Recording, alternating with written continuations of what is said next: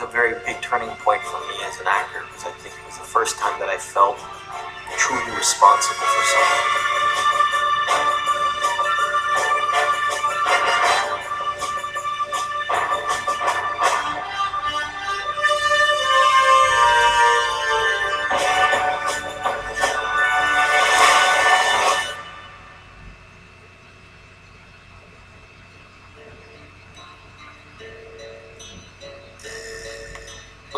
多·迪卡普里奥是好莱坞的一个特例，他拥有精致、帅气、高大的外表。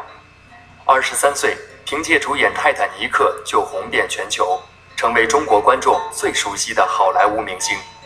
但好莱坞巨星并不是他的人生目标，他抛弃偶像包装，拒绝商业大片诱惑，选择做一位演员，在那些复杂阴郁的角色中磨练自己。独特的选片品味和表演风格，让莱昂纳多成为好莱坞明星制的叛逆者。在今年的奥斯卡颁奖典礼上，被解救的江歌获得五项提名，并斩获两大奖项。在这部风格化的影片中，莱昂纳多联手鬼才导演昆汀·塔伦蒂诺，又一次自我颠覆。Many of you fans in China was nicely surprised when they heard you joined the movie, and they were really surprised. So, how did it happen? Did he approach you, or did you see what made you? Dude, well, I think that I've always been following Quentin Tarantino's career for, for many, many, many years. I've been a huge fan of his work. There are very few filmmakers out there that are so incredibly unique like him that get to sort of translate their own bizarre vision up on screen and have a tremendous amount of people follow it. it uh, he's, he's one of those filmmakers that I think needs to be celebrated because there's not many that get to really take their their true artistic nature and, and create something completely individual and completely unlike anything that you know most of us uh, get to experience in cinema. So, you know, Quentin wanted to create this fusion in Django Unchained of a, of a runaway slave, sort of spaghetti western, but also you know infused with these bizarre characters of the southern underworld.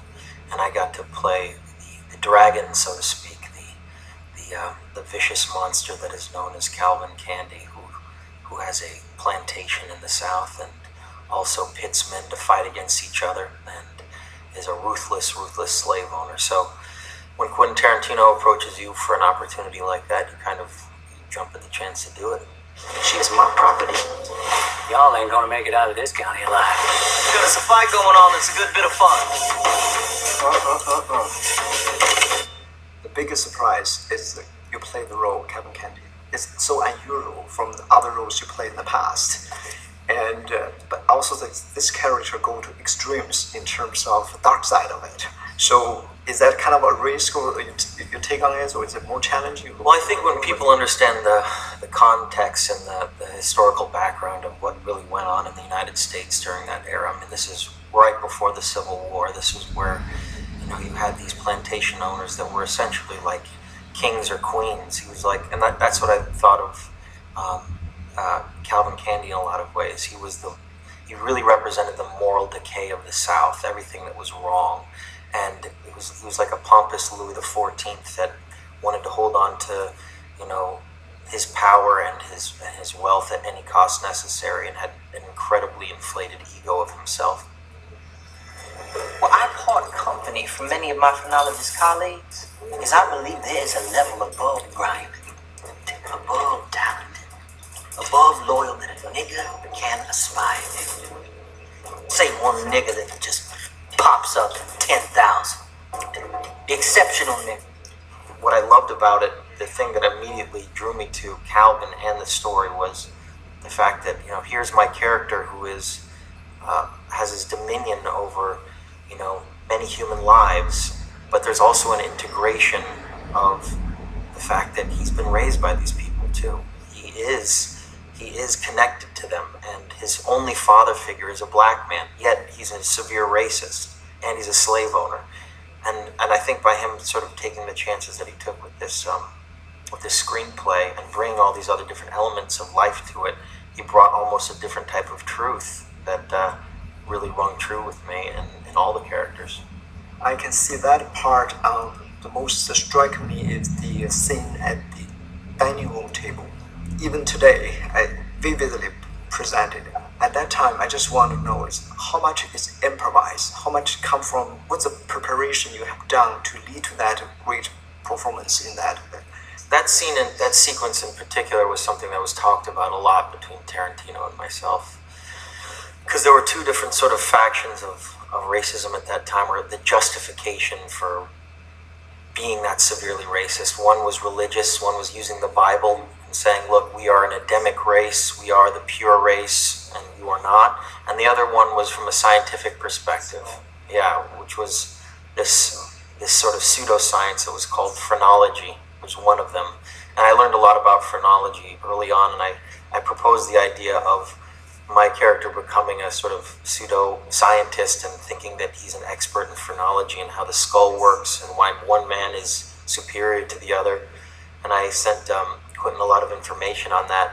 And the brilliant thing about working with somebody like Quentin Tarantino is that he is a writer director, and that is a huge difference. You uh, everything is all encompassed in one. You don't need to go to different departments. There's one man. You say, look this is what I'm passionate about with the character. This is what I feel will connect him and make sense to me. And two weeks later, I had this, you know, three-page sort of monologue about how, you know, Calvin sees the world, and I got to, uh, you know, I got to have this this uh, sort of beautiful bit of dialogue to, to play with, and that, you know, that that whole sequence took a week, and it was um, incredibly intense. And we talked and I talked about the idea of maybe actually carving a skull in front of them and showing them like a real scientist would, and turned into a really cool sequence. If I was holding the skull of a of a of an Isaac Newton or, or Galileo, these three dimples would be found in the area of the skull most associated with creativity. But there's the skull of Old Ben. And in the skull of Old Ben, unburdened by genius these three dimples exist in the area of the skull most associated with civility. It's harder to play hero or play villain. Which one more exciting, or is or is totally different? Is it just for you? I don't know. I mean, sometimes it's very difficult to. There are different types of of challenges. I think that certainly when you play the villain and you have no sort of responsibility to, you know, the sort of moral center of the plot and you're completely narcissistic and indulgent and only care about yourself. I mean, that's what certainly Calvin Candie was. He was just absorbing everything that was wonderful in life and, and having fun. And that, that, that becomes very, you know, exciting to do as an actor. Freedom. There is more freedom in it because you're not beholden to the sort of structure of the movie. You're not the moral center piece. You're, you're sort of free to play but there's also an equal challenge to you know playing the uh, playing the sort of the, the, moral center of a movie because you have so much more to think about. I think uh, you know you have to take the whole film into consideration. But yeah, I mean that's why traditionally a lot of actors have said that it's a lot more fun to play the 被解救的江歌涉及美国种族问题，莱昂纳多饰演一名骄横残暴的南方种植园园主。在电影中，对黑人奴隶有大量辱骂性语言和暴力行为， 触碰到美国文化中的敏感神经。无论是莱昂纳多还是导演昆汀，都因此面临着巨大的舆论风险。I would say the courageous you and Mr. Quentin Tarantino is to dealing with this, this slavery issue, not in a subtle way. I would say. I want to know is when you first got the script and you decided to do the movie, have you ever wondered can the audience take it or how far? Really? Everyone was very skeptical, and because when you take you know really severe chances like this and risks, people uh, immediately are you know, concerned and afraid on how it's going to be, you know, presented to an audience. And here, you know, Quentin not only took on the issue of slavery, which is sort of very taboo in our country, and it's something that is a very, you know, very sensitive issue. It's a raw nerve in America still because it's still prevalent. We still have racism, and there's still all these issues, uh, you know, percolating in our country. So, you know, if you if you take the wrong angle with it, you know, uh, it could offend a lot of people. But I think that what was incredibly courageous is that he decided to make it this spaghetti western with humor and he decided to treat it as a part of American folklore and something that you know we as a society need to uh, you know almost like a mirror look back on ourselves and say this is where we came from. It's not something that should be ignored. And let's see the dark side of it. Let's see the humor that's involved with it. Let's let's entertain an audience as well. Uh, you have these African American uh, top actor uh, Samuel Jackson and Jimmy Foxx, and Kerry Washington right? there's you guys need to have a completely trust and cooperate in order to accomplish this very sensitive and yet intense movies. Uh, would you share a little bit on the side how you guys work together? The second I went on set, uh, you know, I sort of swallowed the fact that I was going to have to be treating treating some of my favorite actors in a certain way that I admire so much. I mean, uh, and and and um, treating them as less than me or inhuman was a very difficult uh, uh, thing hurdle for me to jump over. But like like like with any role, once you sort of grasp who that character is, then he, it just become takes on a life of its own, and you run with it. And I sort of became him, and um, it was uh, an interesting shoot. You know, there were some s- sequences in the movie where I was like, wow, we are really going. Uh, we're going the distance on these. We're really pushing the envelope as far as the intensity and the violence of some of the things that go on went on during this era. Do we need to go there? I posed the question, and immediately both of them said, you know, the travesty or the disservice that you could do to this issue is to not is to not go that that far. If you pull punches, if you sugarcoat yes. this issues, if you try to make it, uh, you know, less severe, people ultimately resent it, and that made a lot of sense to me. And Marshall and the bitches send D'Artagnan to nigga heaven. I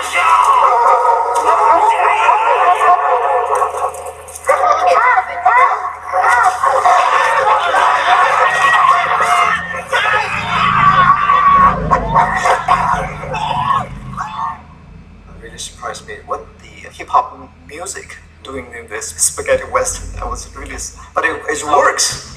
You know, Quentin has always toyed ever since we've seen it in you know Reservoir Dogs, yes. Pulp Fiction. He's always the cutting ears. Yeah, he's very cutting edge, and he's, he's always toying with the with the medium of filmmaking, and and those things are always a great surprise to me. You never really know what expect when you see Quentin Tarantino, but whether it be the music or whether it be you know Uma Thurman doing Square, and there's a square in the in the middle of this film, and it's he's uh he's somebody that takes music as seriously too as he does as he does his filmmaking. And there was always music around when we were making the movie too, which was very to inspire us. You know, when we're doing very difficult sequences, I mean, we're doing sequences on a plantation, you know, in the South, where a lot of this stuff did happen, and there were very some very hard sequences for a lot of actors to do. And you know, he would play music loud and have everyone sort of feel a connection to one another, or if there was, you know, something that was very sensitive to do on set, he'd play music aloud in between takes. It's a very unique, very unique set um, Quentin Tarantino said. It's, it's kind of like a, has a little bit of a party atmosphere as well, but you know, there's nobody that works harder than him. I mean, he's uh. 莱昂纳多自幼迷恋表演，十二岁拿下第一份职业演员的工作，十六岁出演美剧《成长的烦恼》崭露头角。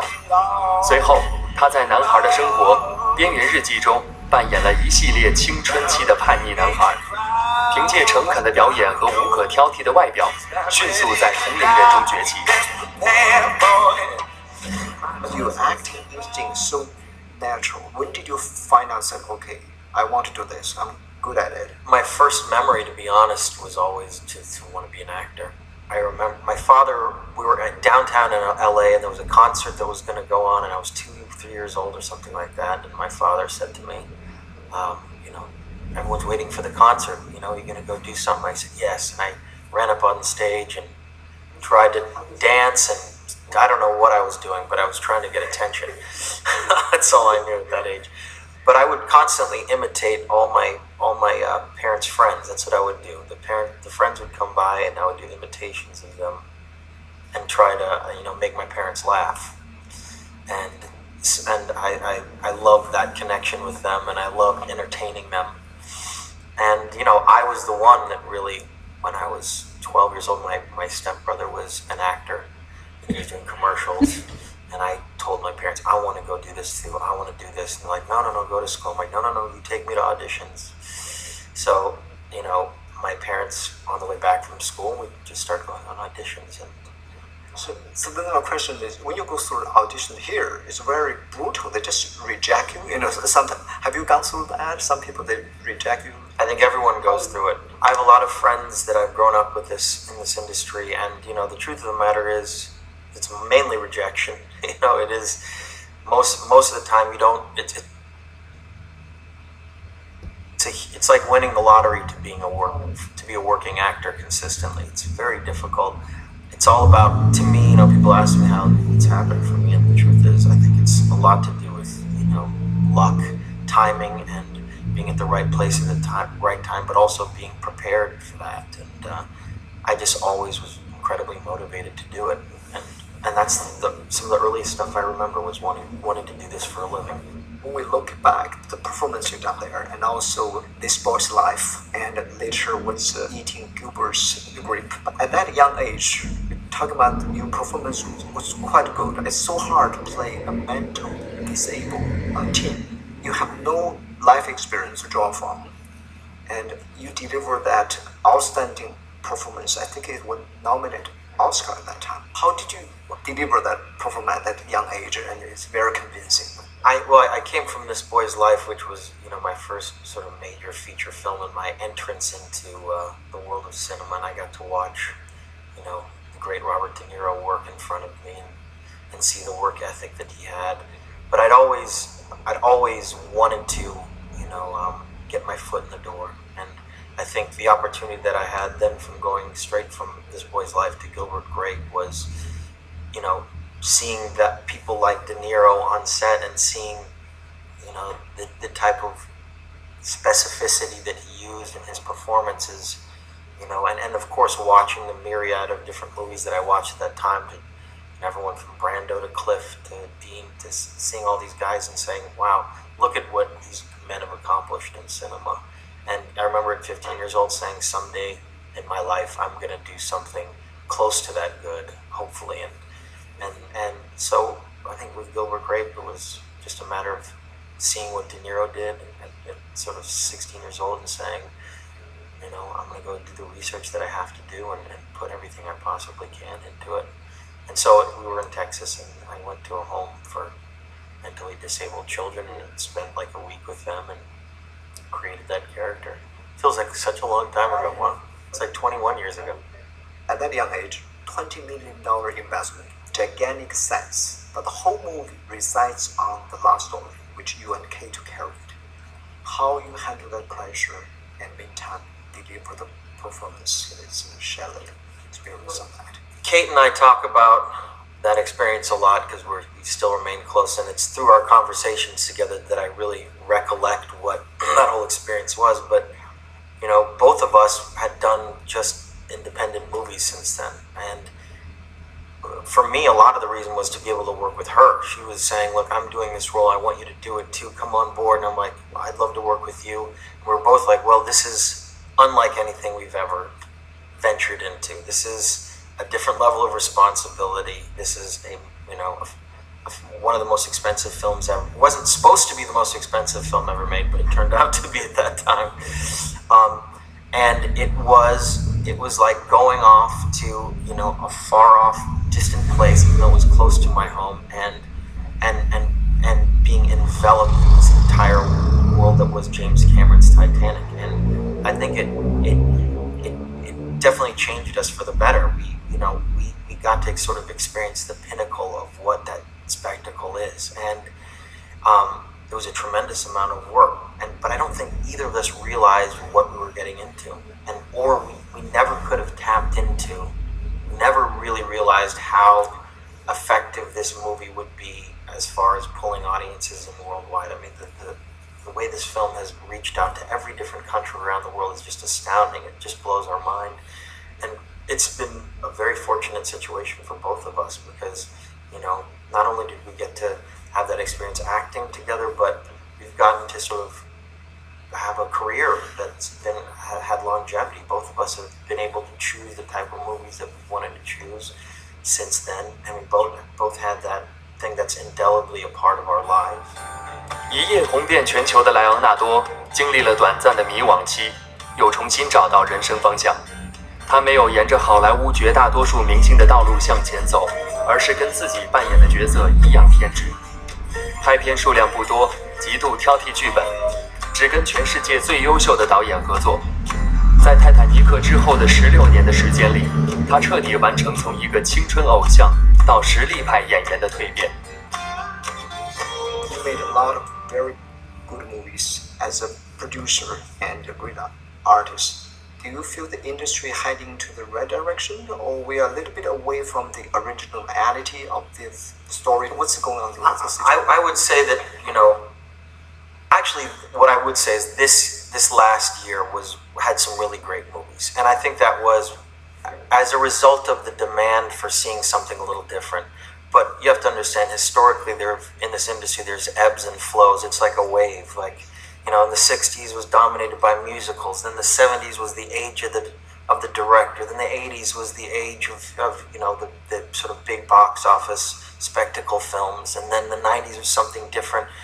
And even in the 2000s, uh, you know, there was a so, sort of a more of a upheaval of, of um, independent films. And then that died down. I think we're in the age right now where film, those sort of independent market – where there used to be a middle ground. There's only really small movies or really large movies, but there's you know it's because a lot of the studios aren't making some of those movies now. A lot of independent financiers have gone out and said, "I want to see this movie," and there's been a demand from audiences, and a lot of them have been doing well. So I think that it's actually starting to change again. But I would certainly say now, in reference to The Aviator, I, don't think I'd be able to make that movie right now, uh, or a film like Blood Diamond. I mean the film, the age of, of making movies that um, are you know ninety or hundred million dollar budgets or something insane like that, that are about you know uh, diamonds in Africa or a obsessive a compulsive billionaire. They don't really finance those movies right now, and those that's why a lot of people are sort of going outside of the industry and trying to get private financing to to get a lot of these films made. Another one, The Blood Diamond. The South African accent. It's very authentic. How did you pull that off? Also, at the end of the movie, the scene, it's touching. Uh, you prepared for that? That journey was another film where we were off in Africa for six months with the great Djimon Hounsou. And I, and I needed, to me, it was such a foreign land to me. It was like something that's so isolated from anything I've ever experienced. It was just about being with the locals and, and, and really talking to a lot of these ex-military guys that were in those conflict zones, hearing their not not just their the way they spoke, but their attitude about life and their heart, how hardened they were, how sort of um, emotionally, you know, um, how emotionally damaged they were. And thank God they spent some time with me, and I got to, um, you know, work on that character with them.